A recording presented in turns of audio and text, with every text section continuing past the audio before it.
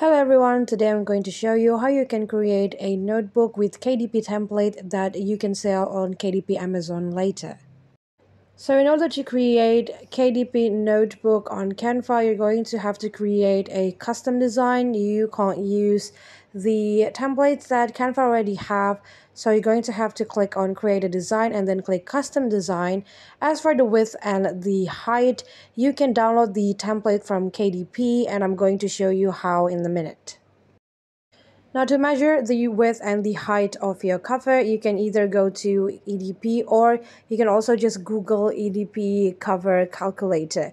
And here you're going to have to fill in the details of your book, such as the binding type.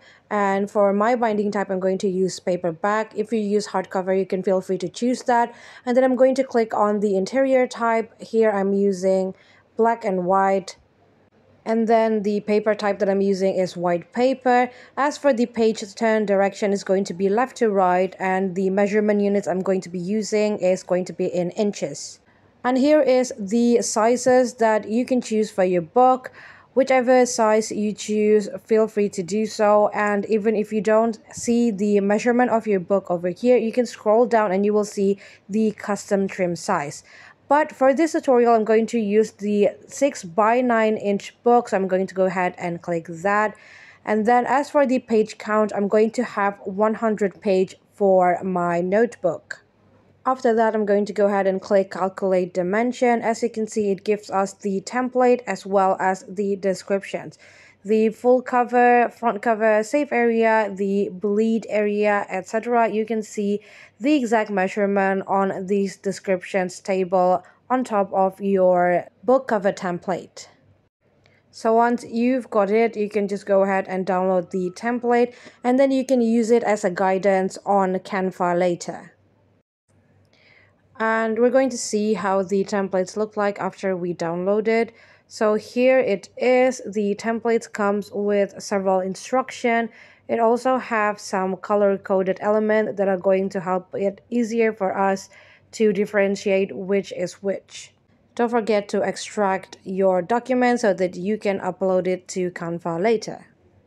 Now that we've got the template, as for the width and the height, you can see on the descriptions above it that the full cover will have the width of 12.475 and the height of our cover are going to be 9.25 instead of just the direct 6 by 9 inch book.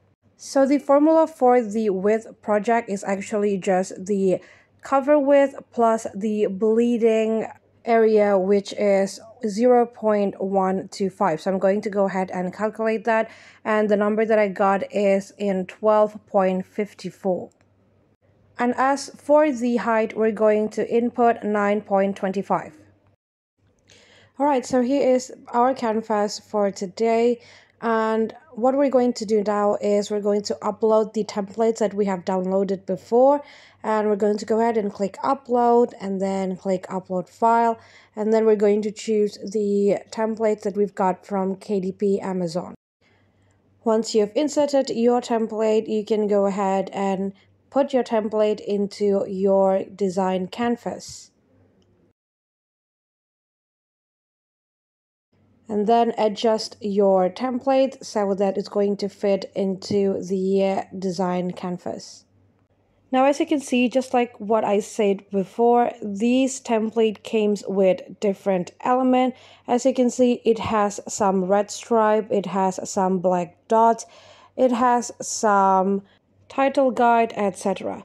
If you're confused about what those elements are supposed to be for, I'm going to explain to you the most important one, which is these red or orange stripe over here. So these are the bleeding area.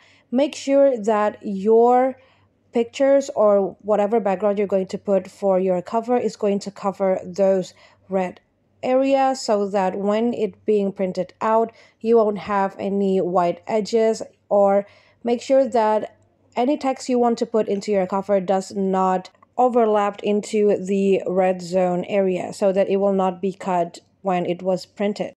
Alright, so the theme of the notebook that I'd like to create for today is night sky or moon anything that related to that because I've been obsessed with moon currently. So I'm going to go ahead and click on the element section and then I'm going to search for night sky. And this is the picture that I'm going to use as my cover background.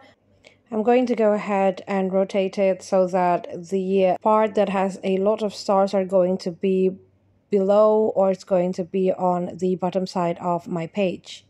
And then I'm going to adjust this picture so that it's going to fit better into my cover page.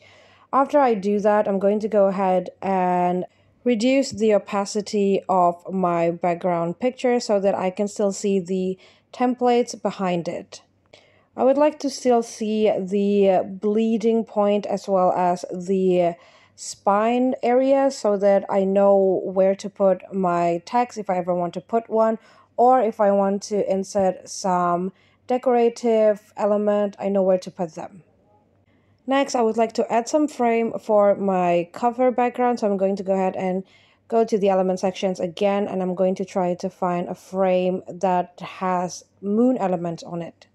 And this is the frame. Well, it's not actually a frame, it's just a stripe, but I'm going to turn it into a frame. It has a gradient color. I don't really like it. I'm just going to make the whole notebook black and white. I want them to be in monotone theme. So I'm going to go ahead and change the colors from gradient into just pure white. And then I'm going to adjust it so that it's going to have a similar width to the bleeding area. And then I'm just going to duplicate it and turn this into a long strip. After I duplicate the strip across the cover page, I'm going to group all of them and then I'm going to duplicate it. And then I'm going to place another frame strip on the bottom side of my cover page as well on the spine area.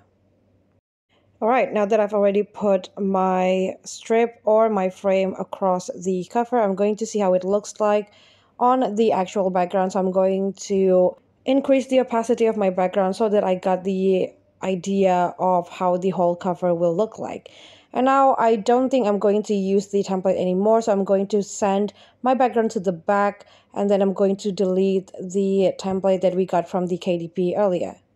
Before you decide you won't use the template anymore, just make sure you remember where the safe zone is, where the bleeding area is, and where the barcode are going to be printed on your cover. So make sure you memorize that before you delete um, the template. And now I just want to add some wording to it, but to separate the wording from my background, I'm going to go ahead and try to find some texture because I feel like just some plain element is going to be boring. So I'm going to go ahead and try to find some texture that I can use to separate my wording with my background. So I ended up choosing this particular element as my divider and then I'm going to add a wording which is just my notebook. You can add whatever you want for the title of your notebook. And then I'm just changing the font of it as well as the positions. And then for the last touch, I'm going to add a moon element at the back of my cover. So I'm going to go ahead and try to find something that catches my eyes. And I ended up adding this girl on the moon element because I feel like it's cute. And that is my cover page. If you want to save it, don't forget to change the uh, file type into PDF print and make sure that the resolution that you download is good enough and it won't get blurred out when you print it. Next, we're going to create the inside of our notebook.